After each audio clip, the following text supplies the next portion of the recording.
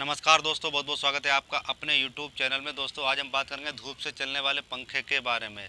तो एक छोटा सा पंखा बनाएँगे और आपको चला के भी दिखाएँगे तो आप भी आसानी से घर पर पंखा बना सकते हैं और धूप से से आसानी से चला सकते हैं। गर्मी में जो है, लाइट की प्रॉब्लम अधिक हो जाती है तो उसमें दिन में जो है, आप जो है, छोटा पंखा जो है, बच्चों के लिए बना के आसानी चला सकते हैं। बच्चों को सोने में प्रॉब्लम आती है, काफ़ी दिक्कतें आती हैं तो वो पंखा बहुत ही कम खर्च में बन जाता है और जो है, अभी हम आपको बना के दिखाएँगे। तो दोस्तों, आप हमारे चैनल पर अगर पहली बार आए तो प्लीज़ हमारे चैनल को सब्सक्राइब ज़रूर कर दीजिएगा और बेल आइकान को भी प्रेस कर दीजिए, जिससे हमारे आने वाले नए वीडियो के नोटिफिकेशन आप तक पहुँचते रहें। तो चलिए स्टार्ट करते हैं वीडियो और आपको दिखाते हैं। तो दोस्तों, यहाँ पे आप देख सकते हैं, मैंने मोटर जो है एक डंडे में लगा के तैयार कर ली है और ये के डंडा है और यहाँ पे एक बेल्ट है। ये बेल्ट रबर टाइप की है तो आप किसी भी मतलब रबर टाइप की बेल्ट हो या कोई भी पत्ती मतलब जो है कोई रबर टाइप की बेल्ट हो, उससे आप जो है रोक सकते हैं मोटर यहाँ पर या आप यहाँ पे एक पत्ती भी लगा सकते हैं।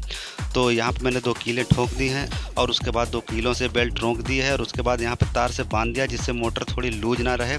तो आप चाहें तो तीन की पत्ती भी लगा सकते हैं। तो यहाँ पीछे साइड में आप देख सकते हैं, दो वायर मैंने लगा दिए पॉजिटिव एक निगेटिव, पॉजिटिव वाला निशान यहाँ बना हुआ है जहाँ टेस्टर लगा रहे हैं। तो यहाँ पॉजिटिव लग जाएगा, इधर वाला निगेटिव हो जाएगा, इधर वाले पत्ती जो है थोड़ी सी मुड़ गई है तो निशान छिप गया है। तो इधर वाला निगेटिव वाला रेडी हो जाएगा जब वो पॉजिटिव है। दिया करीब एक डेढ़ मीटर के आसपास तो ये मोटर आपको डीवीडी प्लेयर के जो है ओपन क्लोज वाली ट्राली होती है, उसमें मिल जाएगी।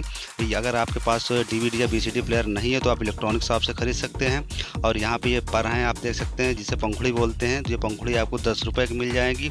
और ये मोटर आपको करीब पच्चीस रुपये के आसपास मिल जाएगी पैंतीस रुपये का खर्चा यहाँ पे है। और वायर आप जैसा चाहें वैसा रख सकते हैं तो पैंतीस रुपये में ये पंखा आपका बन तैयार हो जाएगा। उसके बाद ये पैनल है, ये पैनल तीन वाट का है, और ये छः वोल्ट का जो है, तीन वाट का छः वोल्ट का पैनल है। तो इसमें पीछे यहाँ पे आप देख सकते हैं, लिखा हुआ भी है, तीन वाट। तो ये तीन वाट का पैनल है, पाँच वोल्ट की मोटर है और जो तीन वाट और छः वोल्ट का पैनल है तो ये जो है आराम से बहुत ही अच्छी तरीके से इसे चला पाएगा। तो इसमें तार लगा देंगे और धूप में रख देंगे तो ये चलने लगेगा। और ये वायर आप जो है थोड़ा चाहें तो लंबा भी कर सकते हैं तो ये पंखे का स्टैंड बनाने के लिए आप लकड़ी का कुछ भी मतलब जो है गट्टा टाइप का यूज़ कर सकते हैं। तो ये मेरे पास जो है एक वायर वाला मतलब जो है ये रोलर है, जिसमें तार लपेटा जाता है।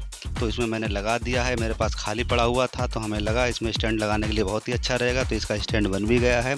तो आप चाहें तो कोई भी जो है, गोल लकड़ी का जो है गोल लकड़ी ले सकते हैं, उसमें लगा सकते हैं। और यहाँ पे आप देख सकते हैं, धूप जो है काफ़ी तेज़ है तो इसे धूप में पैनल को रख रहे हैं। यहाँ पे पैनल को रख देते हैं, और उसके बाद जो है, जो पंखा मैंने बनाया है, उसके कनेक्शन जो है, इससे जो है, कर देंगे। तो मैंने पंखे को भी यहाँ पे रख दिया है। अब इसके वायर को जो है, इसमें जोड़ेंगे तो ये पंखा जो चलेगा और ये बहुत ही अच्छी तरीके से चलेगा।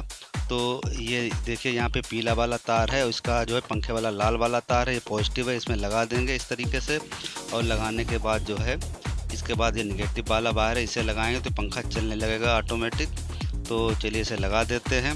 ये देखिए, मैंने वायर को जोड़ा, पंखा चलने लगा तो वीडियो में तो यहाँ पर रुक गया, अभी सही से नहीं लग पाया। तो वीडियो में आप देख सकते हैं, पंखा आपको कुछ सही चलता हुआ नज़र नहीं आ रहा होगा, क्योंकि कैमरा बिल्कुल पास में है। पंखे के और कैमरा हम दूर करेंगे तो जो है पंखा सही चलते हुए नज़र आएगा, लेकिन पंखा काफ़ी स्पीड में चल रहा है तो यहाँ पे अभी वायर हटा देते हैं। देखिए पंखा बंद हो गया है। अब जो है फिर दोबारा से लगाते हैं तो देखिए पंखा फिर चल रहा है, जब काफ़ी तेज़ काफ़ी तेज़ चल रहा है, लेकिन ये कैमरे की वजह से आपको सही नहीं दिखाई दे रहा होगा। और अभी हम दूर से दिखाएँगे तो यहाँ आप देखिए, पॉलीथीन है, पॉलीथीन हवा में कर रहे हैं तो काफ़ी तेज़ पॉलीथीन उड़ रही है हवा में इसकी, जो हमारा पंखा चल रहा है। अब ये देखिए, मैंने दूर से जो है आपको दिखा रहे हैं, पंखा कितना बढ़िया चल रहा है, और ये वायर जो है करीब टोटल वायर हमारा करीब दो ढाई मीटर के आसपास है। ये पैनल धूप में रखा हुआ है, और ये पंखा जो है यहाँ पे रखा हुआ है। तो पंखा बहुत ही अच्छे तरीके से चल रहा है। तो ये पंखा आप आसानी से बना सकते हैं। पैनल आपको जो है करीब ढाई सौ रुपये के आसपास मिल जाएगा और तीस पैंतीस रुपये का इसमें खर्चा ये अच्छा पंखा बन तैयार हो जाएगा और हमेशा के लिए हो जाएगा। तो इस तरीके से दोस्तों आप पंखा जो है आसानी से घर पर बना सकते हैं। बहुत ही आसान तरीका है और ये वीडियो हमारा पसंद आए तो प्लीज़ लाइक ज़रूर कर दीजिएगा। अगर हमारे चैनल पर पहली बार आए सब्सक्राइब ज़रूर कर दीजिएगा और मिलते हैं नेक्स्ट वीडियो में। तब तक के लिए धन्यवाद।